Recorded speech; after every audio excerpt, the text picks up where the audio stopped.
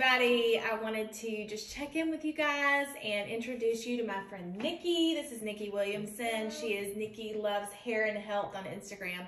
Um, but we're following along together doing this Bible study, Courageous Influence. I have it on the she's got it on her iPad, super official.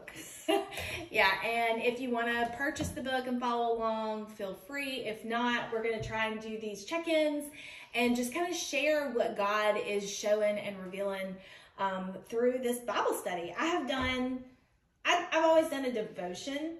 Um, but one thing about this particular Bible study is that it's kind of in depth. And I don't know, maybe some of you that have purchased the book didn't realize that it's about 30 minutes. How long Yeah. does it take you? 30, 30, 30, 30 45. It depends on how deep you want to go, guys.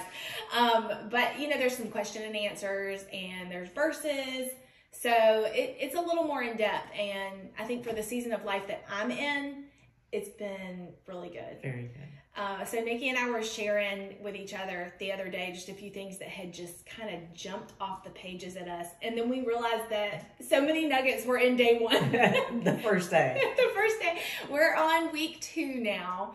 Um, and we've all kind of grabbed some different things out of different days. But I think that one thing that's so cool about this is in the very beginning, it's kind of talking about not our faults, but like some hangups. Um, our hangups, yeah, because it says right here on day one, instead of being whole, we become fractured. Instead of being the light of the world, become dim. We put it back on us, but we got to get in God's word. So to be the salt of the earth, the scripture that you, Yeah. Yeah. I love Mhm. that part about that. Instead of being whole, we become fractured. Um, and I think that so many women deal with like body shaming Yes. and um, problems with confidence about different different things, whether it's you know your brain or your body. I think body is such a uh, big thing. such a big thing. Nikki is a hairstylist, and tell us a little bit about deal with that. Every day they come in my chair and they're like, "Oh my God, put the cape on me. I, I have this problem. Look at my cheeks." Like, and I deal with that, the same thing. I've and been we, guilty.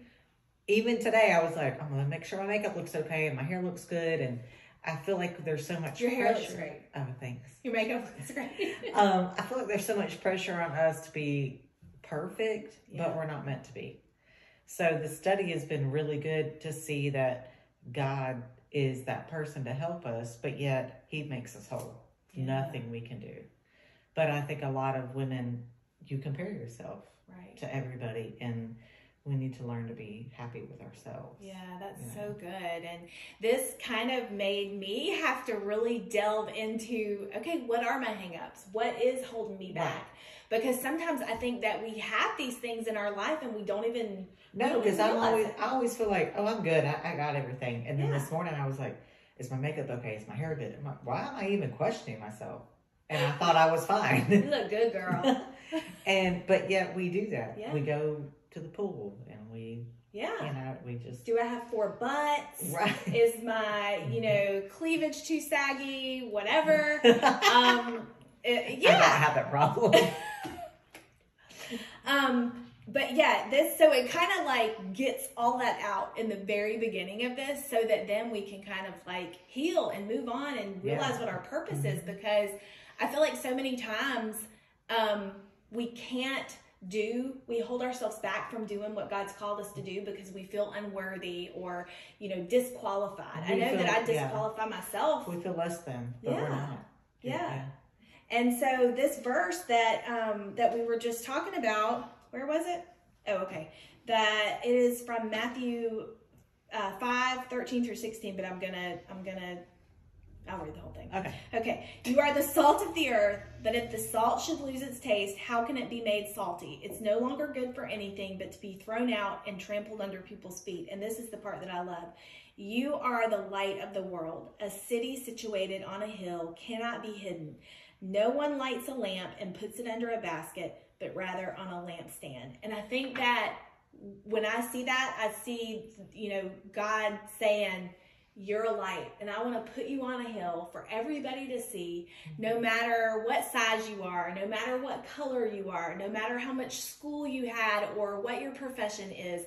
And I think that as women, we just all need to grab hold of that truth Yeah. that we are all called to to Yes. to to be a light and to be an influence no matter you know who we are Well, no matter your insecurities, Yes. even if you've made mistakes or you've done That's stuff right. wrong, it doesn't matter. God has called us Yeah. to be a lamp and to be a light. I Lamp, a light. a lamp and a light you, you're called uh, to be in both I think even not just women, I mean everyone, but I feel like women are sometimes we struggle with it because we feel like let's take care of everybody, let's do the family, let's, Mhm. you know, and God has called us to be a light and to share that light. And there was something on here that I really liked that I just read. In here on day one, we were made to shine, to have our own God, uh, have our own good works bring glory to God. We were made to have influence, to have an effect on those around us and the world because we have been made new in Christ. I so love with that. everything, we're made new. It's so funny to see. Um, there's a few of us that are doing this um, together, and with those of you online, and so everybody is like getting different things Yeah. out of it, and it's so funny because Nikki walked in today and she was like, "Oh, I love this this part."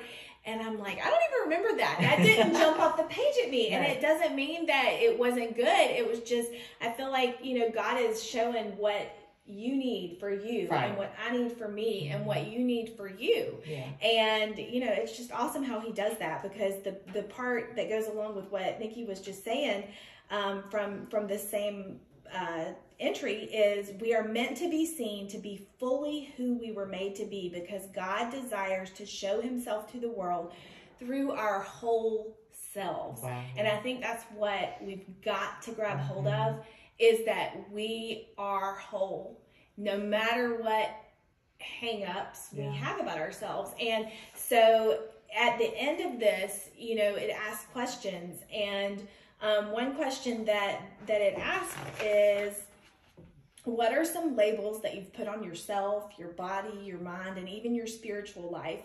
Um, what parts have you deemed bad, valuable, or useless?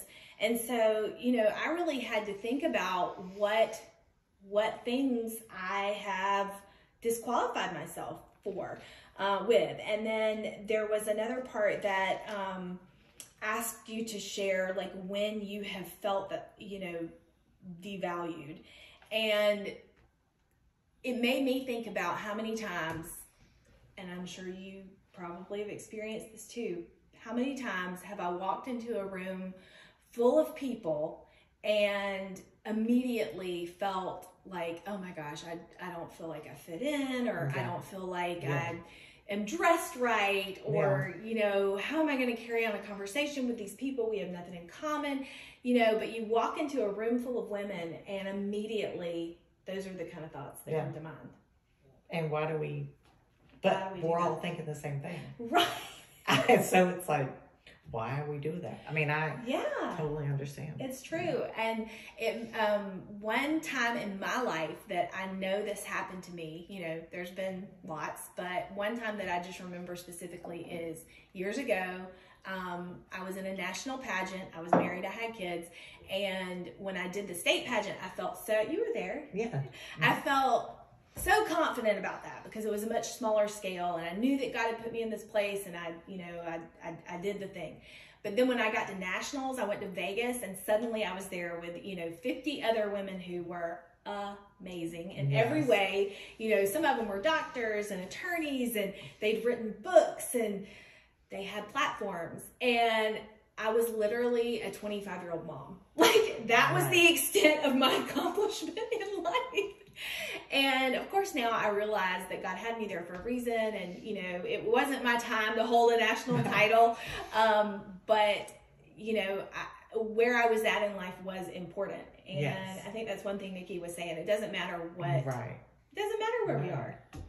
No, if you're a mom, be a mom. Right. God has created. If you're a wife, be you know, God creates you for that. Yeah, for sure. And I think we devalue certain things, and we don't need to. God has created you to be an influencer, no matter where it's where it is. And I just I love this. I think it's love great. it. I love it. If you are following along mm-hmm. in the book, or if you're not following along in the book, you can check in on my Facebook page, Find Your Confidence, because we are all finding our confidence. I think every single day we're finding our confidence, but we're finding it in Christ. And I think that is the ingredient that a lot of people leave out. Yeah, and learning to just be okay with not being okay. That's right. Sometimes you, I misplace my keys twenty times a day, and that's okay. Mean, Be okay with your imperfections, Yes. whether they're physical, spiritual, whatever. Yeah. Be okay with your imperfections, and that is when God can use us the most. Because I'm here to tell you, there are so many things in life that I have had to do that I did not feel qualified no. to do. yes, I But. I think in my stupidity, sometimes God can use me the most because I'm like, okay, I don't know what I'm saying. I don't know what to do. You're just going to have to lead Yes, me and guide me. but he Yeah. uses you for sure. So thank you guys for joining us, and I hope that you will check in with us again and follow Nikki Loves Hair and Health on Instagram. She um, always has funny and encouraging things to share. So before we go, I want to just say a quick prayer Okay. um, for everybody following along. Yeah. Father, we just thank you for this time together, and I thank you, Lord, for Nikki being here with me today, and Lord, for us just being able to get together and and have coffee and chat about what you're wanting us to um, focus on during this season. And I just thank you that you will continue to reveal yourself to each and every one of us, reveal yourself through your word. I thank you that you give us ears to hear, and Father, that when we hear, we will be obedient to your commands. And I thank you, Father, for the importance of every woman. And Father, that we would focus on those things that are important to you and not our own hang ups. And we just thank you for these things. I thank you for an awesome week for each and every person. In Jesus' name, amen. Amen.